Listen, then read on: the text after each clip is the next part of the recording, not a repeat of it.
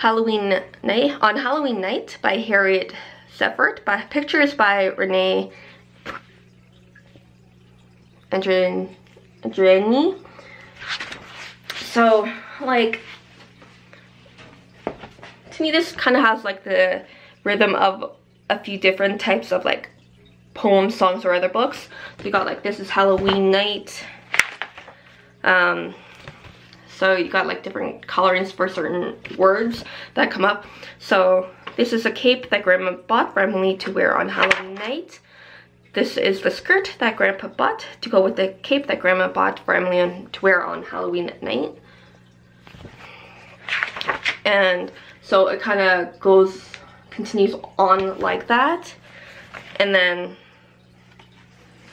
like when she when it gets to that point and then her trick-or-treating it has the same kind of setup. So it's a nice little book kind of repetition kind of thing. So if you want that type of thing to read for um, to read to your kid or have your kid read um, so you're getting the, a new sentence with what was previous. And so same kind of thing if you want. That kind of thing.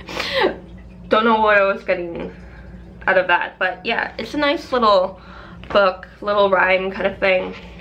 So on Halloween night and like the pictures are pretty cute so yeah. Happy readings